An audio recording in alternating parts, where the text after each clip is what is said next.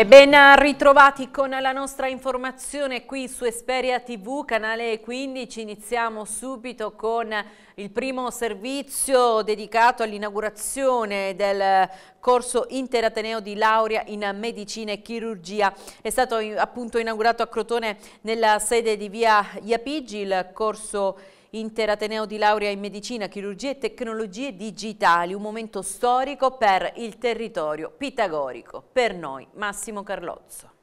Giornata memorabile a Crotone per l'avvio del corso di laurea in medicina e tecnologie digitali. Questa è la sede, un corso che coinvolge da un lato l'Università di Cosenza, quindi l'Università della Calabria, dall'altro l'Università Magna Grecia di Catanzaro. Iniziativa molto attesa dai cittadini, 80 i ragazzi che seguiranno i corsi. È un corso moderno, un corso di avanguardia, un unicum nel sistema nazionale perché eh, accanto alla formazione medica, perché il laureato è un laureato anzitutto in medicina e chirurgia, eh, il laureato possederà anche degli elementi conoscitivi aggiuntivi, quindi sulle tecnologie digitali, sull'intelligenza artificiale, sulla robotica, competenze che un medico eh, di domani, ma già di oggi, deve assolutamente possedere.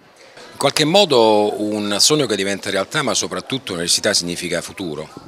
Beh, sicuramente lo è, lo è per questa città, lo è per i giovani di questa città e di tutta la provincia e lo è direi anche per la uh, cultura e per quello che gli Atenei calabresi offrono. Per noi eh, questa è una, eh, è una sfida eh, che abbiamo raccolto con, eh, con grande entusiasmo perché pensiamo che eh, sia molto molto importante portare un, un, avamposto appunto di alta formazione anche a Crotone, in una città che eh, storicamente ha guidato la cultura, eh, ahimè, ormai qualche millennio fa e che secondo me deve ritornare a ricoprire il posto che giustamente le spetta.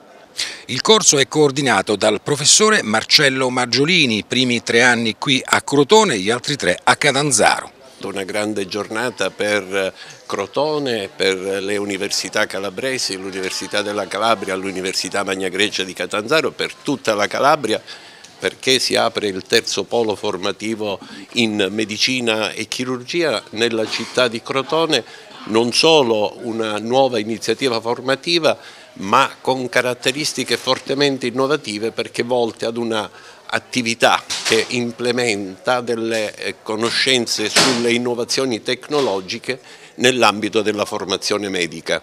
Molto soddisfatto Antonio Brambile, il commissario straordinario dell'AS di Crotone. Il valore, a mio parere, dell'avvio di questa sede della Facoltà di Medicina, Chirurgia e Tecnologie Digitali è un valore che va al di là del fatto che potremo avere dei medici sul territorio che si possano radicare e collaborare con l'azienda sanitaria.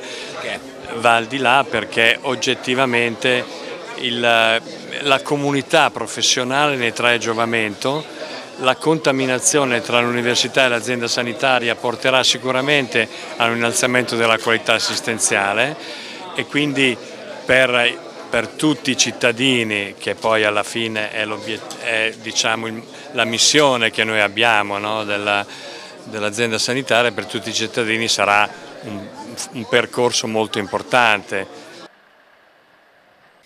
Tante le istituzioni coinvolte per questo importante traguardo che permetterà ai giovani crotonesi di studiare nella propria città consentendo alle famiglie di poter risparmiare. Vediamo. Un'iniziativa che dà un futuro a questa nostra città di Crotone, sentiamo il sindaco Vincenzo Voce. Una giornata storica perché avere un corso di laurea in medicina a Crotone veramente era un sogno e questa volta si sta concretizzando. Quando mi ha chiamato la prima volta il magnifico rettore Leone, ripeto, non ci credevo. È una realtà dalla quale partiamo con grande consapevolezza perché eh, da oggi abbiamo, sappiamo che ci sono 85 studenti, 85 famiglie su questo territorio i quali, eh, i quali necessitano di essere coccolati e, e soprattutto sostenuti e ai quali raccontare e svelare eh, nei ritagli di tempo che avranno il nostro straordinario territorio. Per le conclusioni il Presidente della Regione Roberto Chiuto. Sembrava una provincia dimenticata da tutti. Io credo che l'istituzione della facoltà di medicina a Crotone, peraltro con questa specificità che darà la possibilità agli studenti di avere dopo il triennio una laurea in eh, ingegneria informatica, valga quanto i lavori della 106 che inizieranno all'inizio dell'anno prossimo, cioè dobbiamo costruire infrastrutture materiali ma anche infrastrutture dei saperi per eh, collegare Crotone al resto del paese come meritano i cittadini di questa provincia. Senta Presidente, questi nostri Atenei calabresi che sorprendono anche nelle classifiche nazionali e internazionali. Sì, sono molto felice di questo perché c'è davvero un clima molto positivo nel uh, sistema universitario calabrese. Io discuto continuamente con loro, cerco di far sentire vicina la regione e i risultati mi pare stiano arrivando perché tutte le università calabresi crescono, addirittura eh, l'università che curerà il primo triennio qui a Crotone, Università della Calabria, è la prima università d'Italia, quindi eh, è bello che sul piano dei saperi la Calabria dimostri di essere eccellente. Il sindaco di Corigliano Rossano, Flavio Stasi, è da alcuni mesi sottoposto a sorveglianza operativa da parte delle forze dell'ordine a causa di minacce e intimidazioni ricevute dal primo cittadino dopo la sua rielezione. Il provvedimento di tutela per il sindaco di Corigliano Rossano, terza città più popolosa della Calabria, è stato disposto dal questore di Cosenza, Giuseppe Cannizzaro, a seguito di due episodi che hanno fatto impennare il livello di attenzione da parte delle autorità autorità di pubblica sicurezza. Dopo la conferma nella carica di Stasi ignoti hanno alterato gli pneumatici dell'auto del primo cittadino e sono stati manomessi i freni della benesima autovettura. Stasi che ha presentato denuncia per quanto accaduto avrebbe deciso di non rendere noti gli episodi per evitare di allarmare i propri familiari. E adesso cambiamo argomento, torniamo sulla vicenda di Crotone, la sparatoria al quartiere Lampanaro in cui è morto il pizzaiolo 44enne Francesco Chimirri. Le indagini proseguono serrate e intanto salgono a sei le persone indagate. Vediamo. Sono sei gli indagati per la morte di Francesco Chimirri, pizzaiolo di 44 anni, deceduto il 7 ottobre scorso dopo essere stato raggiunto da un proiettile al petto sparato da un vice ispettore della polizia, Giuseppe Sortino, di 37 anni, al culmine di una lite avvenuta nel quartiere Lampanaro di Crotone. Oltre al poliziotto, al figlio della vittima, Domenico, di 18 anni, e all'autista della vettura incidentata, che deve rispondere di favoreggiamento, il PM Alessandro Ro, titolare delle indagini affidate al nucleo investigativo dei carabinieri, ha inviato gli avvisi di accertamento tecnico anche ad altre tre persone. Si tratta di due fratelli di Chimirri, Antonio di 41 anni e Mario di 36 e del padre della vittima, Domenico di 66 anni, accusati di lesioni gravissime nei confronti di Sortino. Le persone indagate in vista dell'incarico al medico legale per l'esecuzione dell'autopsia sul corpo del 44enne potranno nominare i loro consulenti di parte abilitati ad assistere all'esame autoptico che potrebbe svolgersi martedì. Sul luogo dove è avvenuta la sparatoria hanno lavorato anche gli specialisti del RIS di Messina. Gli investigatori continuano a concentrarsi sul movente e sull'esatta dinamica dell'incidente da cui è scaturito l'inseguimento da parte del vice ispettore e sulla successiva lite finita in tragedia. Un arsenale composto da un'arma da guerra, sei pistole, alcune delle quali clandestine, circa 300 munizioni di vario calibro e marca, è stato scoperto dai carabinieri nel corso di una perquisizione effettuata nell'azienda di un 43enne di Marina di Gioiosa Ionica, nella Locride.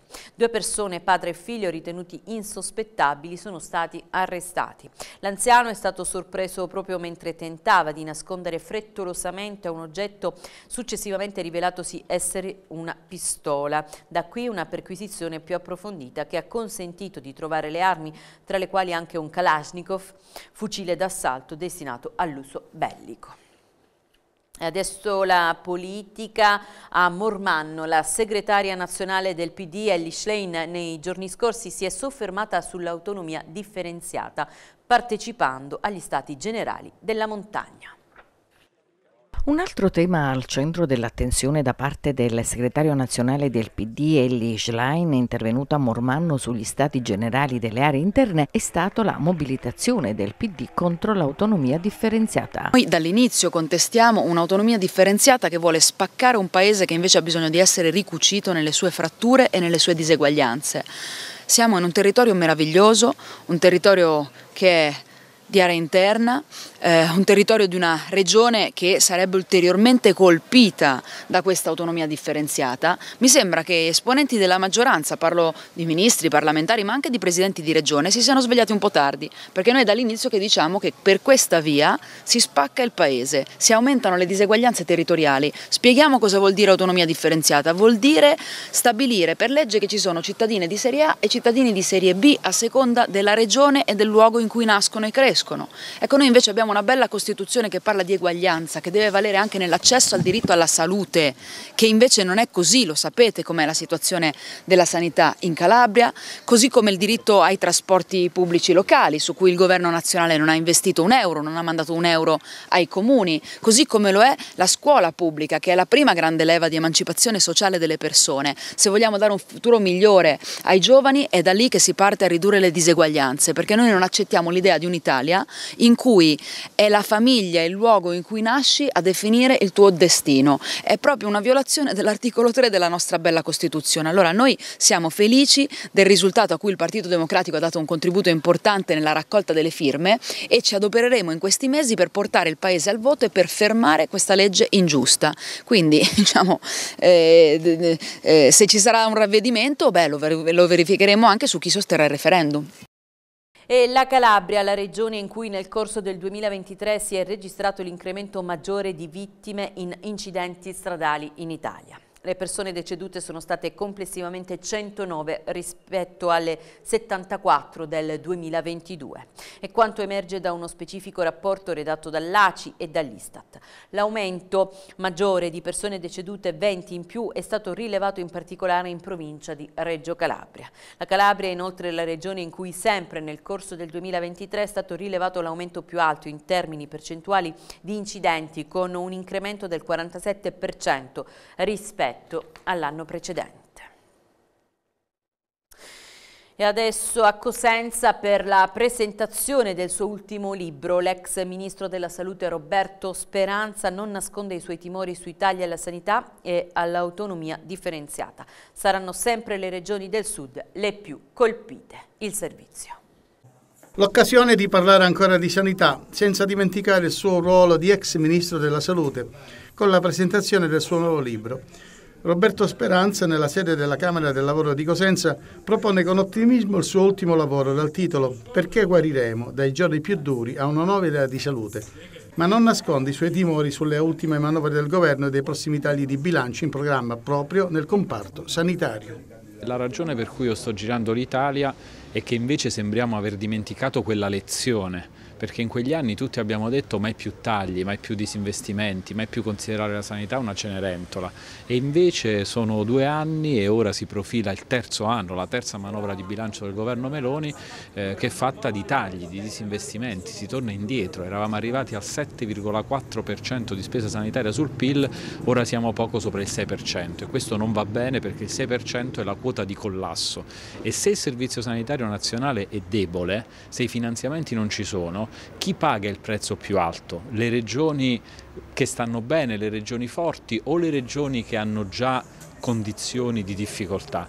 È chiaro che quando i soldi non arrivano da Roma, chi paga il prezzo più alto è sicuramente una regione del mezzogiorno, come può essere la Calabria, come può essere la Basilicata, come può essere la Puglia o la Campania. Quindi le regioni del sud pagano un prezzo molto molto più forte. Per questo noi abbiamo bisogno di una grande mobilitazione e per questo ringrazio la CGL, il sindacato, le forze sociali che si attivano per difendere il nostro servizio sanitario nazionale. Eh, l'autonomia differenziata sarà un altro colpo esattamente in questa direzione perché aumenta le diseguaglianze. Già oggi le diseguaglianze esistono e sono forti, nascere a Reggio Calabria non è come nascere a Reggio Emilia, oggettivamente, la qualità dei servizi sanitari purtroppo è molto diversa tra le regioni, l'autonomia differenziata anziché curare e ridurre queste diseguaglianze l'accrescerà ancora di più e penso che quindi bisogna opporsi con ogni energia all'autonomia differenziata e mi auguro che le persone facciano sentire la propria voce attraverso il referendum. L'ex ministro dice la sua poi sull'utilizzo dei medici cubani in Calabria, una toppa piuttosto che una soluzione. In un'emergenza si può mettere una toppa per qualche settimana, per qualche mese. Noi abbiamo mandato medici italiani negli altri paesi, in momenti di difficoltà medici di altri paesi sono venuti in Italia, ma nell'ordinarietà, questo non va bene, nell'ordinarietà bisogna investire formando ragazzi italiani, ce ne sono tanti, bisogna allargare borse di specializzazione, allargare gli spazi per i corsi di medicina e dobbiamo investire chiaramente su risorse che devono strutturalmente stare qui, perché puoi mettere una toppa, la toppa ti può durare qualche settimana, ma poi il problema non lo risolvi mica. Ed ora invece andiamo a Morano Calabro dove si è parlato di giustizia, Costituzione e territorio. Carcere, Costituzione e territorio è stato il tema dell'importante convegno tenutosi a Morano Calabro su iniziativa della locale amministrazione e del Presidente del Consiglio, l'Avvocato Francesca Rosito, che ha inteso approfondire il complesso rapporto tra il sistema penitenziario italiano, i principi fondamentali della nostra Magna Carta e le dinamiche sociali che si sviluppano nei territori. Alla data di oggi vantiamo di aver dotato tutte le strutture di un dirigente e di un comandante. Sono stati svolti, oltre ad aver eh, fatto scorrere le graduatorie che abbiamo trovato in essere, sono stati svolti altri due corsi, il 182 e il 183, per cui complessivamente abbiamo superato circa 3.000 unità di polizia penitenziaria che sono state assegnate in tutte le carceri d'Italia. Si stanno facendo altri corsi e concorsi, l'obiettivo è quello di arrivare a 5.000 perché naturalmente il personale era sottodimensionato. La questione sovraffollamento riguarda anche il carcere di Castrovillari? Allora, la questione del sovraffollamento riguarda anche il carcere di Castrovilleri, però ritengo che non sia uno dei problemi principali. Il problema principale sono i detenuti che hanno problematiche di carattere psichiatrico e ne abbiamo anche a Castrovilleri, i detenuti extracomunitari e ne abbiamo anche a Castrovilleri e come terzo ordine di eh, criticità è il sovraffollamento. Un'occasione dunque di confronto e riflessione sulle sfide che lo Stato nelle sue articolazioni centrali e periferiche è chiamato ad affrontare per sostenere sostenere la cultura della legalità e del rispetto dei diritti umani. Abbiamo scelto di parlare di questi temi che sono interconnessi tra loro qua a Morano Calabro perché abbiamo in mente un importante progetto. Vogliamo eh, stabilire con la Casa Circondariale un protocollo d'intesa per permettere ai detenuti che sono a fine pena di poter svolgere dei piccoli lavori di manutenzione ordinaria, così da poterli reintegrare, reinserire nel tessuto eh, cittadino, ma soprattutto cercare di fargli restituire qualcosa alla società dopo che delinquendo purtroppo hanno perso la loro libertà. Presenti tra gli altri il dottor Luigi Blois, funzionario giuridico pedagogico, l'avvocato Maurizio Feraudo, cultore di diritto costituzionale UNISA e l'onorevole Sabrina Mannarino, consigliere regionale, avvocato penalista. Una donna di 87 anni è morta domenica sera a Locri nell'incendio che è scoppiato nell'appartamento dove viveva da sola. Ha scattato l'allarme sul posto nella centralissima via Marconi sono subito intervenuti i vigili del fuoco del distaccamento di Siderno. Utilizzando l'autoscala i vigili hanno raggiunto il quarto piano dell'edificio e contemporaneamente la porta d'ingresso accedendo nell'appartamento, ma la donna era già deceduta a causa delle gravi ustioni riportate. Secondo quanto riferito dai soccorritori, la donna forse per le sue condizioni di salute non è riuscita a sfuggire alle fiamme che in breve tempo hanno avvolto il divano e gli arredi vicino. Il magistrato di turno della Procura di Locri sta coordinando le indagini per accertare le cause del rogo. I carabinieri hanno arrestato a Mesoraca un 29enne con l'accusa di, di, detenzione ai fini di spaccio di sostanze stupefacenti. Il giovane, che era alla guida della propria auto alla vista dei militari impegnati in un posto di blocco, ha tentato di disfarsi di una busta lanciandola dal finestrino della vettura. Notando il gesto, i carabinieri hanno fermato l'auto del giovane per un controllo e recuperato la busta all'interno della quale sono state trovate 71 dosi di cocaina, già pronte per la cessione a seguito di una perquisizione veicolare, personale e domiciliare sono stati trovati 5.000 euro in banconote di piccolo taglio. Anche un conto corrente a lui intestato è stato sequestrato. Le dosi di cocaina trovate dai militari una volta immesse sul mercato illegale avrebbero fruttato un guadagno stimato di circa 7.000 euro. Ed ora invece andiamo a Verbicaro nel Cosentino per parlare di apicoltura e rigenerazione urbana. A Verbicaro nel Cosentino si sono svolti due eventi, Foresta di Miele e A Casa da me, che hanno coinvolto la comunità locale in attività dedicate all'apicoltura, alla natura e alla riqualificazione urbana. Foresta di Miele ha visto la partecipazione di istituzioni locali, esperti apicoltori e associazioni con l'obiettivo di sensibilizzare l'opinione pubblica sull'importanza delle api e sulla conservazione dell'ecosistema forestale. Dopo i saluti istituzionali, gli interventi degli esperti, sono seguite le attività pratiche, tra cui la messa in dimora di alberi e l'osservazione delle arnie, Parallelamente si è svolto a Casa da me un'iniziativa mirata alla riqualificazione del centro storico di Verbicaro attraverso attività di rigenerazione urbana e valorizzazione culturale.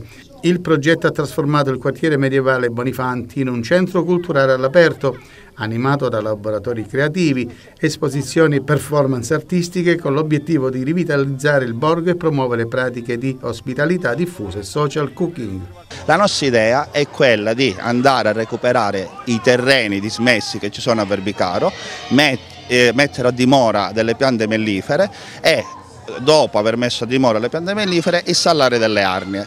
Con queste arnie cosa vogliamo fare? Vogliamo fare controllo sul territorio, perché comunque sono arnie che vengono controllate da remoto, riusciamo a controllare l'umidità, la piovosità che c'è in, in, in, un determinato periodo e eh, tutto questo poi per concludere quello che, che è il nostro progetto, che va a mitigare quelli che sono gli effetti sul dissesto idrogeologico, perché mettendo a dimora le piante e andando a salvaguardare quegli ambienti che ormai sono abbandonati, eh, grazie alla, alla, alla regimazione delle acque andiamo anche a salvare quello che è il nostro territorio. E purtroppo come un po' in tutto il mondo l'apicoltura è in grande sofferenza e la Calabria non è da meno, ma si riesce ancora a resistere sul, sul mercato e proprio per quei grandi investimenti fatti negli anni passati dove c'è stata una forte professionalizzazione degli apicoltori.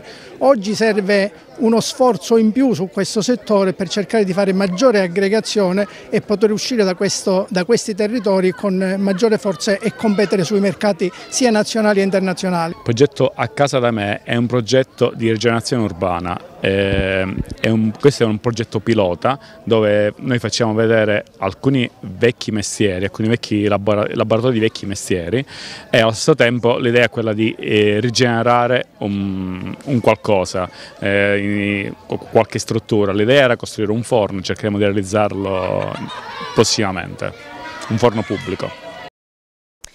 E adesso invece vediamo che tempo farà grazie a Trebbi Meteo.